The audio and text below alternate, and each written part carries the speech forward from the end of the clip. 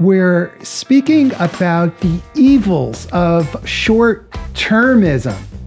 Our guest is David Cote. He's the former chairman and CEO of Honeywell. His new book is called Winning Now, Winning Later.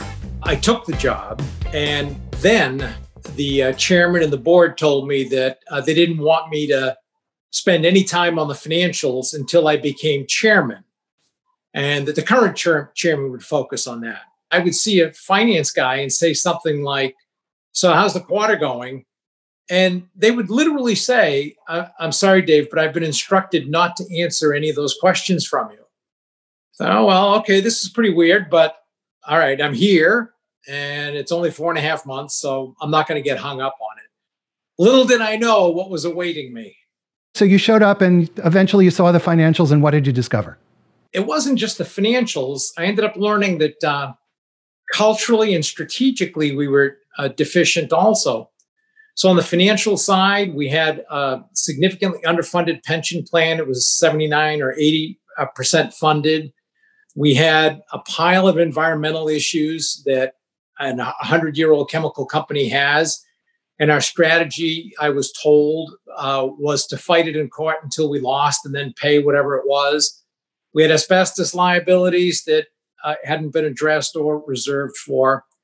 Uh, over the previous decade, our um, uh, for every dollar of income, we only generated 69 cents of cash, meaning there was a hell of a lot of uh, aggressive, let's say, unhealthy bookkeeping going on.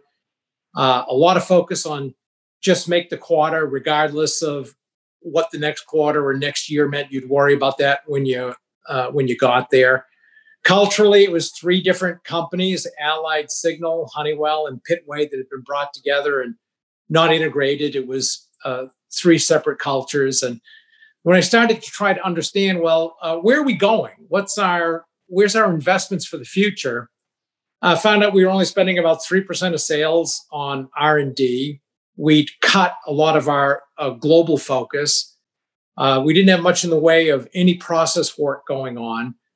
So I was really pretty astounded. And then uh, remember, I was not regarded as uh, the guy who was going to be able to save this company. In fact, on CNBC, one of the commentators had said, we don't think this company can be turned around. And if it can, this is probably not the guy to do it. He didn't make it to the first tier in the GE succession race. And he wasn't even the first choice to run Honeywell, both of which were true. And when right out of the box, uh, I ended up uh, taking my numbers down for what the ensuing six months were going to be. And then three weeks later, had to take it down about an additional 20% because uh, estimates that we pulled together were just so ridiculously aggressive and unmakeable. I looked like they were they were completely right. I mean, I looked like a complete fool. So e- even though I had a let's say not a very good reputation going into it, I, I made it even worse when I had to do that. So from that road on, uh, to end up generating an 800% overall return, two and a half times the S&P 500, and uh, taking the market cap from 20 billion to 120 billion. We generated 2,500 401k millionaires.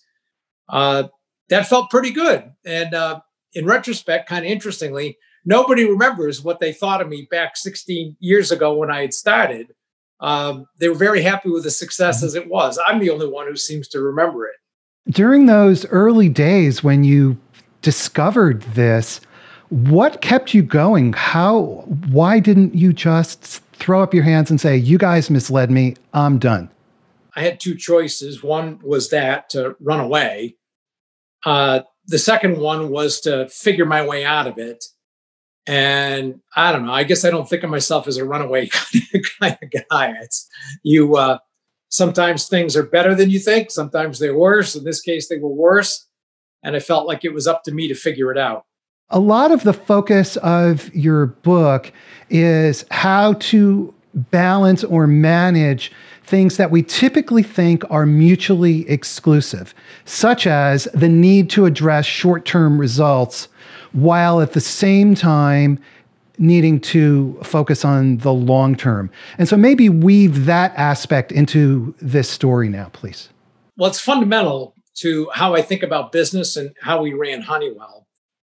Uh, human nature makes people want to know what's the one thing you want me to do, boss? But at the end of the day, uh, the point I always used to make is uh, success in business, and I'd argue in life, is always about achieving two seemingly conflicting things at the same time. And if you want some examples, do you want uh, low inventory or do you want good product delivery? Do you want people closest to the action empowered for quick decisions, or do you want to have good control so nothing bad happens? Do you want to have low functional costs for HR, finance, et cetera? Or do you want to make sure there's great internal service? Uh, do you want good short term results or do you want good long term results? In every case, the trick is figuring out how do you accomplish both? And it's not so much balance as it is figuring out how do you accomplish both of those things at the same time. And I first came across this when I ran an inventory reduction effort. God, it's like uh, 35 years ago now, I guess. And it really struck me that what we were trying to do is I was uh, the name of it was an inventory reduction task force, but we quickly glommed onto the idea that it would not be successful unless we could improve customer delivery at the same time. And I started referring to it as my any ninny theory, saying any ninny can do just one thing. The trick is to figure out how to do both. And the same is true when it comes to short term, long term. And I was just very frustrated by everything I read out there that talked about short termism as if you either chose to be a short term focused or a long term focused. Uh, it, it, they were mutually exclusive, to your point. I always viewed it as mutually reinforcing. You had to do both. How does one do both? Obviously, this is an extremely difficult thing. It's very easy to talk about, but extremely difficult to do. I mean, just look at public companies and the way public companies are run, and I think that establishes the difficulty. So, how do we do it? The first thing I usually suggest is uh, the leader has to change their own mindset. And uh, getting back to that inventory reduction task force, uh, because of its huge success, I had to go around the company, GE at the time, talking about it everywhere. And in the audience, somebody would always say, like, okay, Dave, well, what's the number one thing you did? And they always want that, okay, what's that one thing? And I would say, well, it's a matter of changing the mindset. If you can change the mindset, you can get there. And people would nod their heads, go, yeah, yeah, that's interesting. Uh, and then two minutes later, someone would say, so, Dave, though, what was the number one thing you did to make this successful? And it's like nobody wants to accept that it starts with the leader's headset first. You got to get that mindset right that says, okay, this is doable, and this is how I'm going to do go about it. Uh, then the leader needs to talk about it. And then, most importantly, they need to walk the talk. So, if they hear the leader talking about, uh, we, we need to make short term numbers, but we're going to do it the right way so that we're still achieving the long term. But they see uh, the leader agreeing to accounting adjustments, so no cash, but money comes in, uh, distributor loading at the end of the quarter, uh, cutting some of the long term funding in order to uh, make it, uh, they immediately it's like parents you know the do what i say not as i not as i do. Uh, they'll do what they see and that's the way they're going to act. So the, the leader's role here is paramount uh, in how they talk about it but also how they walk the talk and the discipline they're willing to have. And the biggest thing i think they can do uh, is and we talk about this is to grow sales and hold fixed cost constant uh, it sounds very simple. And if you do the math, it's very simple, and you see variable margin falls through at a significant amount. But holding fixed cost constant is not easy because uh, most of fixed costs, 60 to 90% of it in most functions, is people. And if you're giving people 3% raises a year with comp and benefits, and you're trying to hold it constant, that means it has to go down. Headcount needs to go down 3% every year when everybody wants more. And that's where the process work comes in. And you have to be doing the process work in order to be able to do that so that you don't devastate the company as you uh, try to accomplish it. But those are just some of the initial thoughts. There's a lot more, of course, but that's, uh, I think, a pretty good broad brush to start with. Let's take a question from LinkedIn, and Sarbjeet Johal is a very interesting fellow who I know. He asks, How important is financial engineering as opposed to core engineering in running a company? It depends on what you mean by financial engineering. Uh, there's a, a, disparaging approach to it where you just load up a company with a big amount of debt, and that's uh, obviously not good.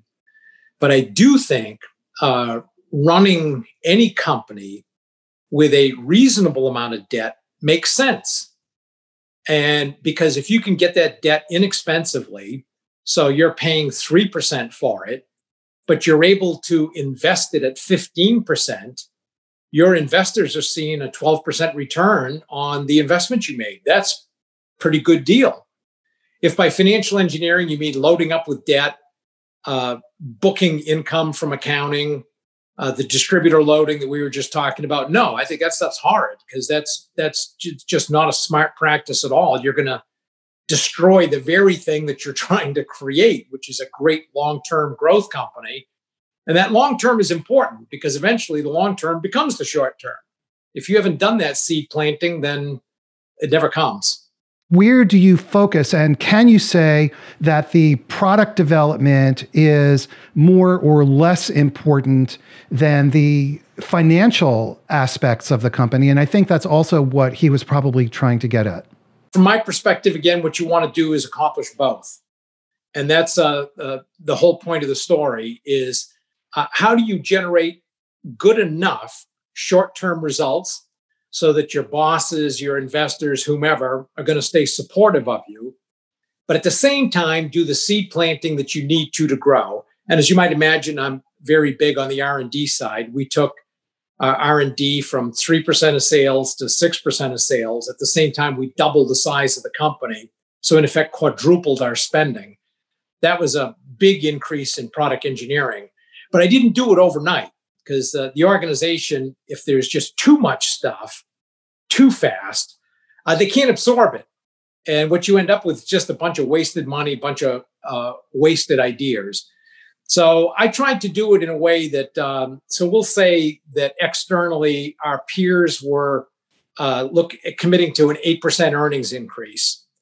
Uh, I would commit to a 9% earnings increase but I would have a plan internally that generated an 11% earnings increase, including funding for all those long term initiatives.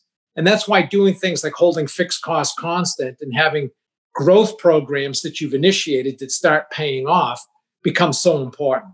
Why then is it, do so many business leaders find this incredibly uh, challenging, and they take a reference point of the short term, even though it's obviously at the expense of, of long term value. Well, it's easier, right? like uh, I was saying before, human beings want to focus on just one thing or uh, be able to blame somebody else for why they have to focus on just one thing. And that's why uh, the title of the first chapter is Banishing Intellectual Laziness. Because the first thing you have to do is the leader's headset mindset needs to change, whether you're running a group of five people, 5,000 people, or 50,000 people. That headset change has to start there. And if it was easy, everybody would be doing it, and um, you know I wouldn't have to write write this story. But the fact is, it's uh, not easy to do. But I think it's going to be fundamental to our uh, success as an economy and for any companies around the world, but especially for US companies to start to be able to do this. We have some more questions from Twitter and LinkedIn. So, number one from LinkedIn How do we handle the growing mistrust in government and corporations? I guess the first thing we all need to do is uh, act in a way that's trustworthy. Uh, some companies don't and that's always uh, what gets all the attention. But you know, I'd say at least ninety percent plus of companies act the right way, and it is possible to be doing the right things at the same time you're doing the right things for the share owner. If you take a look at uh, uh, Honeywell for an example, yes, I like to talk about the twenty billion going to 120 billion in market cap. But at the same time, we put in $10 billion to funding our pension plan because they felt like we had a commitment to retirees and we ended up with an overfunded pension plan. Uh, we reserved for all of our asbestos liabilities and started resolving those. And we spent three and a half billion in 15 years resolving all of our environmental liabilities so that we could have a clean company uh, going forward uh, for my successor. So the first thing is to act that way. And then the second one, I think, is to talk about it. Uh, most companies don't want to, and that included me. Uh, I didn't want to talk about the environmental progress we were making as a company because it would attract all the people who never think you're doing enough. Even though I was spending three and a half billion dollars to fix all this stuff, for some that's not enough and you're just always going to be evil. And I didn't want to attract those folks. I wanted to just focus on running the company. So I think there's probably going to be more required of companies to say what they are doing and to kind of call some attention to it. How important is transparency in this? Well, I guess it depends on what kind of transparency uh, people are looking for and on what.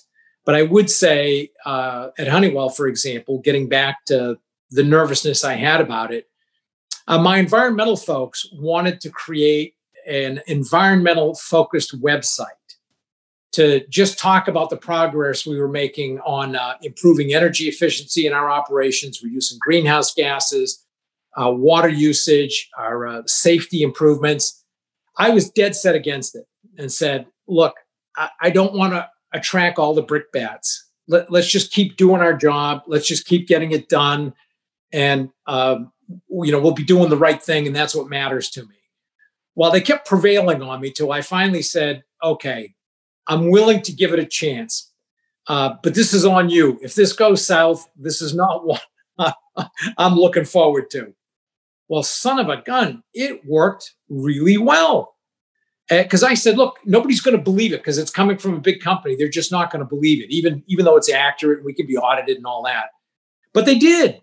And it ended up working out very well for us. So, yeah, I kind of like the idea of transparency on um, a lot of things. Uh, but you got to be careful how far do you take it. Uh, it's very easy, I think, to get so transparent that you can't make a move or do anything without somebody objecting. So, in general, I like the idea, uh, but it's got to be you, you got to be thoughtful about your spots. In this example, why did it work? What were the attributes of the situation and of of the actions that you and your team took that engendered that trust? First of all, we did have the results. And if anybody uh, audited them, government or anything else, uh, the results were there and were accurate. I think it also helped that on the environmental side, uh, I'd hired people who had tremendous credibility in the environmental community so that uh, they would never be viewed as uh, corporate shills by the say more negative people in the community. Uh, and i think that added to the credibility of it. So and, and, and, you could see the results. If you walk through any plant or saw the amount of uh, discharge that we might have reported uh, externally to government agencies you could see the results. Arsalan Khan says leadership is about setting an example but what about politics and culture that can destroy that example? How do you manage that? Again, it's this issue of what breaks down trust and how do you overcome that prevailing feeling that often exists out there? The first thing to do is uh, keep acting in a trustworthy way and uh, have a point of view and uh, be open about it uh, most CEOs, as I said, uh, everyone I've ever run into, uh, there are some who, yeah, do bad things and end up being a bad example for the rest of us.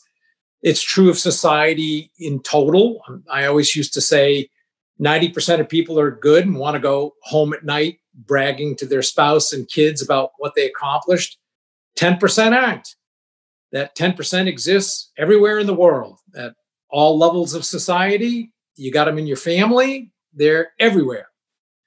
You don't want to judge the 90% based on the 10, but the 10 are what get all the attention generally. So I would argue 90% of uh, CEOs want to do the right things. They're not looking to screw anybody or get away with something or do something illegal. I mean, they're just not like that. It's they're human beings like everybody else.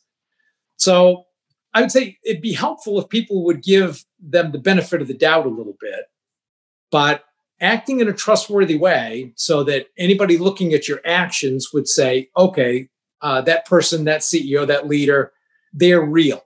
They they talk about this, but you can also see that they're actually doing it. That's got to be the biggest thing. It, it, I keep I use this phrase a lot. I didn't come up with it, but it's walk the talk. And if people can see you walking the talk, uh, even though you're always going to get brickbats because there's 10% of people you can't convince no matter what you do. But about the majority of them, I think, when they see how a leader is acting, will then give them the benefit of the doubt. We had on this show as a guest Joel Peterson. He's the chairman of JetBlue. And he used the phrase, we were talking about this issue, and he used the phrase, it's important to solve for fairness, meaning in your business dealings that that that you're looking for fa- for f- fair outcomes for everybody. And I'm wondering as you were sort of dismantling, figuring out the, all the issues, uncovering the issues at Honeywell, and then reconstructing the business, how did this concept of solve for fairness come into play? I didn't uh, use that phrase, but I use that word a lot. And it's whether it's dealing with uh, partners, customers, suppliers, employees, uh, compensation. Uh, in every case, uh, fairness was the a word I used a lot, and it's because it's um, important to people, and it's always true. People have just have this kind of sense of wanting to focus on okay, what's fair here, and uh, it was an important concept for me. So uh, yes, I use that phrase, not that phrase, but that word, fairness, a lot.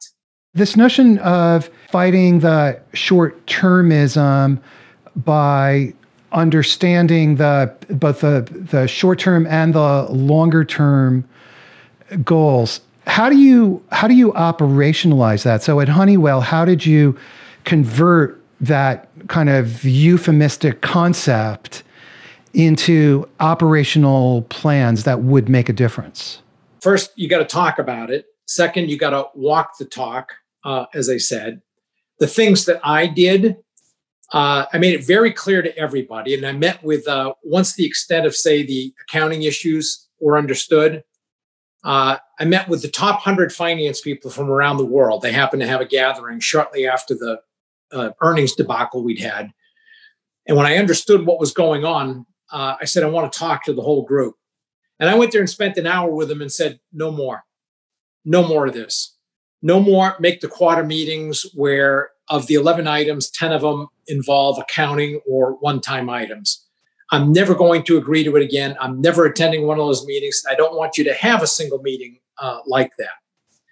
Well uh, uh, same thing with distributor loading. And I've had the discussion with each of the business leaders and said i'm going to start putting in audit routines to make sure that this does not happen. No price and terms at the uh, end of the quarter.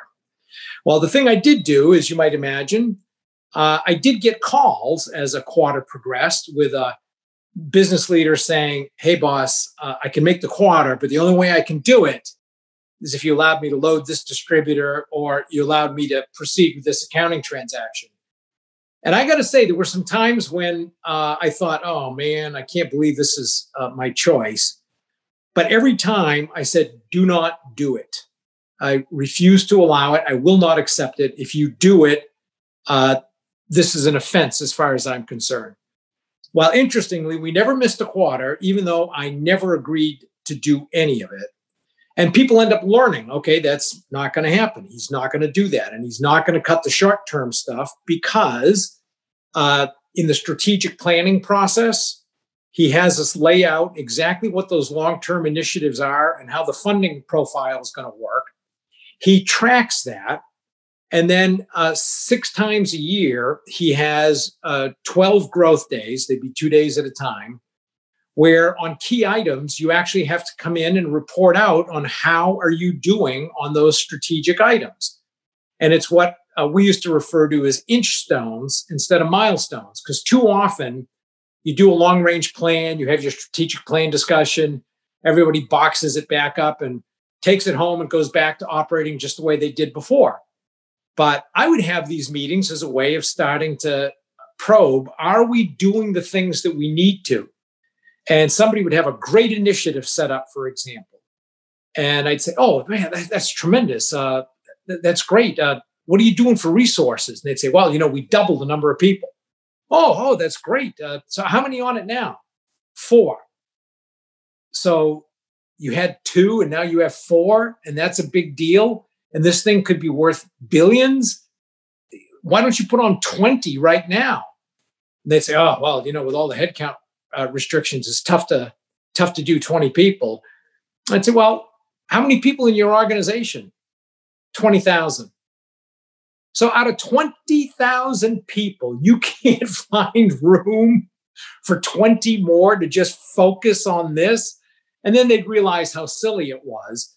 And they do the right thing, and the growth effort would continue. But you run into this in businesses all the time. Like I said, whether it's five, 5,000, uh, 50,000 people, you run into that all the time. The same kind of issues. Uh, and I call them excuses masquerading as reasons. In your book, you described a, a very poignant example of this, this kind of thinking, where somebody at a chemical plant owned by Honeywell uh, died. And maybe tell us about that. Tell us about what happened and what the causes were, and then how you addressed it. One of the things I recommend to any leader whether uh, again you've got five, five thousand, or fifty thousand, is do what you can to create what I call X days in the year. X days meaning nothing is scheduled for those days. You can use those days for whatever you want. Uh, obviously, the lower you are in the organization, the tougher it may be to do because of boss's demands. But nonetheless, do what you can to, to do that. Uh, I would set aside two to three a quarter at the beginning of the year when we'd lay out the calendar. And I'd probably be able to save one to two a month because something always comes up and you got to give them up. Then you use those days to do what you want to do.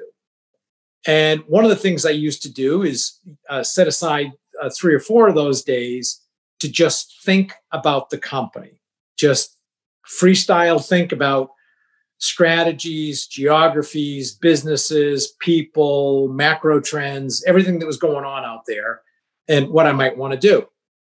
I would also use those days to do surprise visits in places. And we had had a fatality in Baton Rouge, Louisiana. And it occurred because uh, it was in a chemical plant. A cylinder had been mislabeled by a supplier uh, and the employee had not followed the protocol they were supposed to.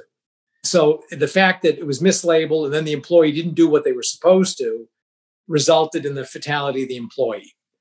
As you as you could probably tell, it really bothered me that somebody died on my watch uh, like that, and uh, it was preventable. So I sent in a team to audit and find out what the heck is going on down there. And I was a little uncomfortable that the team was really getting to the facts of things. So I took one of those days, didn't even tell my assistant where I was going. I just said, you know, get me down to New Orleans. And then once I got there, uh, I rented a car and uh, drove up. And went to the reception desk, and it, it was, this was kind of early on, so you could tell uh, the receptionist didn't know who I was, and had to call the plant manager, who then came down and, and got me. And I went around the plant and just kind of looked around and just talked to people, talked to the union leaders, then met with the whole staff and just said, geez, you know, how, how did this happen? How, how could this have been prevented? And the part that concerned me was that somebody on the staff said, well, Dave, you know, the thing you need to understand is uh, chemical plants are inherently dangerous places. And we were just unlucky that this happened to us. It could have happened anywhere. And I let the conversation run and come to find out the whole staff believed that. And I thought, my God, I, I couldn't believe it. And I, I just wrapped up by saying, do you guys realize a man died in this facility and that it could have been prevented? And yeah, he didn't follow his training, but why didn't he follow his training? And why was the cylinder mislabeled? And how do we make sure this stuff never happens again? Well, as you might imagine, we changed out most of the people there. We really upped our uh, health, safety, and environmental game. And it became a model plant after that. It's like people did realize the significance of what had happened and that it was preventable. And it's as a result of that, we took our uh, health statistics, uh, safety statistics across the company up to the point where we're something like 80% above the average today. It's a, it's a just very, very safe environments. Cedric Wells on LinkedIn says, What kind of support is needed or should one seek to shift the culture of short termism thinking? It's always easy in any job you're in to blame the people above you. But uh, all that is is an excuse for whoever that leader is to not start working on the things they can control. So I advise uh, everyone that, okay, you're most likely you're not going to change the point of view of the leader two levels above you. What you can do, though, is affect your own behavior and start thinking that way. And look at your own operation and say, gee, you know, what's the stuff that if I did just a little bit of seed planting now would pay off very well three years from now, even if I'm not here? What are those things I can do? Now, by doing that, you don't just create a better operation, but you start training yourself. You start training yourself to think that way so that as you get into bigger and bigger operations, uh, you're already thinking that way. And the higher up you go, of course, the longer you tend to be in the job. And you will start to see the benefits of that. From uh, Elizabeth Shaw, talking about these X days, she said everybody talks about the fast pace of business and the chaotic situation that exists as a result. How can an executive create the space to think, to think critically, as you were just describing? In any job you are in, it is very easy to become a victim of your own calendar. And I was an early victim of my calendar. When I look at uh, 2002, for example, when I first got there, I was just kind of running from one thing to another, and uh, you never had time to think. And what you'd find is on one day, you might have four meetings booked at uh, 9, 11, uh, 1, and 3. And what happens is you end up with these like half hour or one hour interregnums where there really is no time to think. And then the same thing the next day. And by creating X days and just forcing all those meetings into a single day, say the day before, yes, you end up with a very busy day before that may go to 8 p.m., but that next day is yours. If you don't set up that time, even if it's only four hours, not even a full eight hours, if you don't proactively set up that time, then you will never get to it. And uh, a couple of phrases uh, Donald Rumsfeld, uh, love him or hate him, he had this great line that said, Beware of letting the urgent get in the way of the important. And it's very easy to get consumed by uh, everything that's going on around you. And I got to really get to this. And if you're at a time like this, uh, there's this old saying that I've always liked that says, if you're up to your butt in alligators, it's tough to remember your original goal was to drain the swamp. And that's true. When you've got 120 hours worth of work and 80 hours to do it, well, uh, you stop doing a lot of it. But if you're a leader you have to find a way to generate the time to put your head above the fray and say, are we going in the right direction?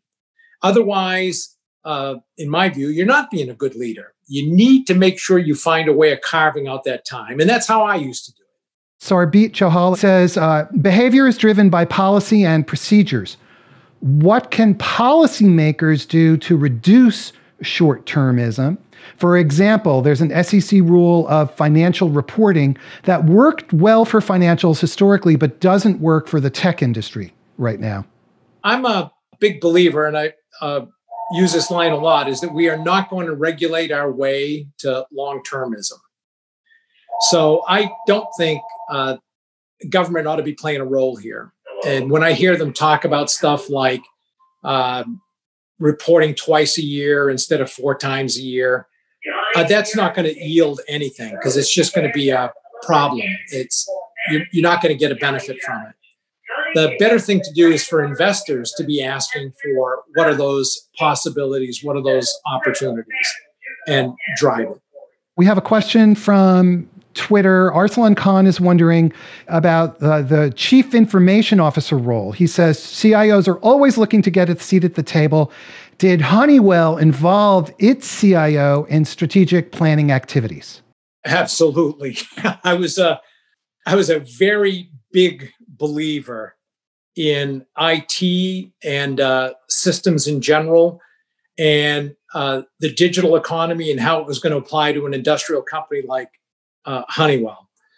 And even if you take a look at our engineering uh, folks, you would find uh, we had 23,000 engineers, and you look at all the products and chemicals and stuff we're in, and you just said, yeah, you know, 90% of them got to be mechanical, electrical, chemical type engineers.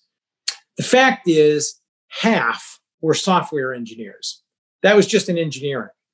Then we had the IT folks in addition. And I was a big believer in IT was going to be an enabler for everything products, uh, services, uh, process uh, improvements as we figure out how to standardize and mechanize processes. So you're not going to find a bigger believer in it than, than me.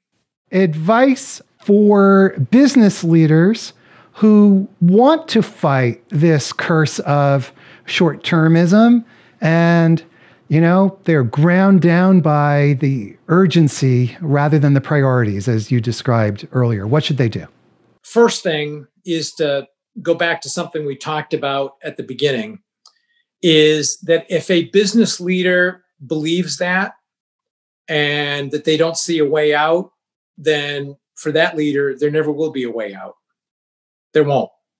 The first thing they have to do is start to re examine their own headset and say, okay, how do I think differently about this? How do I think about where my costs go? Uh, where am I spending my money? What are those long term things that I would like to invest in? And I can just start putting some seed money in to find out if there's something there. I don't need to get agreement on the total five year program. All I need to do is put in a few dollars up front to start to get a sense for is there something here? And start with whatever it is you can control. But if you believe, gee, there's just too much short term pressure, then it's just never going to happen. You've All right. Gotta, now, 10% of the time, yes, there, it probably will be like that. 90% of the time, you can do something. So a lot of this then is examining your own capabilities and frankly seeing whether whether you are part of the the problem fundamentally. Exactly. It's got it, this whatever level you're at, it begins with that leader. Another question from Twitter How can executives and CEOs follow your approach when shareholders, especially activist investors, demand an extractive business approach, which is short termism? you know, as I've said about activists, they're kind of like a free press. Uh, 70% of what they do is good, 30% is not, and just doesn't make any sense. Uh, we, we got an activist in Honeywell stock, even though we had done extremely well. And we actually got along very well with the activists. We didn't do what they recommended, we did something uh, different that we'd already planned on doing. But we ended up with a very good conversation because we said, all right, uh, we want the stock price to go up. We want it to not just go up now, but continue to go up. So, how are we going to make sure we're doing the right things? And as long as we had that uh, a convincing argument that said, yes, we're uh, doing better in the short term, but more importantly, this is going to do really well for the long term, and you can believe it. It's not just, uh, you know, kind of a hope and a prayer. We actually got along uh, very well with the uh, the activists. Now, 30% of them are not, but you, this is where you have to have uh, a belief in your own case and it's got to be supportable. And oftentimes you'll see stuff like, uh, well, you know, a, a company ought to spin off a particular business. That actually may make sense. The, the company, the CEO, and the board may say, nobody's going to tell us what to do. But if at the end of the day, that creates a higher stock price, meaning it's going to create more opportunity for all the employees there, then they ought to do it. So I've always thought with activists, you ought to really think about what they say because they may have a point of view that makes sense. You shouldn't just have a kind of retrenching kind of view saying, okay, now we're under siege. Uh, really consider what it is they have to say. But you got to have your own point of view about what will generate results and be able to support it. Because at the end of the day, investors are going to weigh the two arguments and say, gee, you know, uh, this company hasn't performed in 10 years. This activist has an idea. Maybe I ought to listen to it. Conversely, if you say, well, we have performed for 10 years, this is management's view, maybe we'll support them. You're chairman of a company called Vertiv. You want to give us the quick sales pitch on Vertiv? I love all the things about Vertiv because it has all the same characteristics that I saw at Honeywell when I got there. It was very much in trouble, uh, but they hired uh, the PE firm, Platinum Equity, hired a very good leader. Uh, he hired a good team. They started to invest into IT to get it to where it needed to go. And as I said, when um, I managed to get into it, it was about where Honeywell had been after the first two or three years. And I liked it because uh, when I things I used to talk about Honeywell, I had a great position in a good industry. You could differentiate with technology. It had a lot of sales increase upside because the industry was growing and you can gain share because it's so fragmented, and a lot of margin rate upside. So I put all that together and said, "Oh, this is this is a perfect place to be," and that's why I'm there. Everybody, we've been speaking with Dave Cote. He is the author of the book Winning Now, Winning Later. It's it's an outstanding book. It was called Fortune called it The War and Peace of Business Books. Former Secretary of the Treasury Hank Paulson said it was the best business book he's ever read. So those are pretty good recommendations. yeah, they are. Dave Cote, thank you for taking the time to be here with us today. Thank you. Everybody, thank you for watching, especially the folks who contributed questions.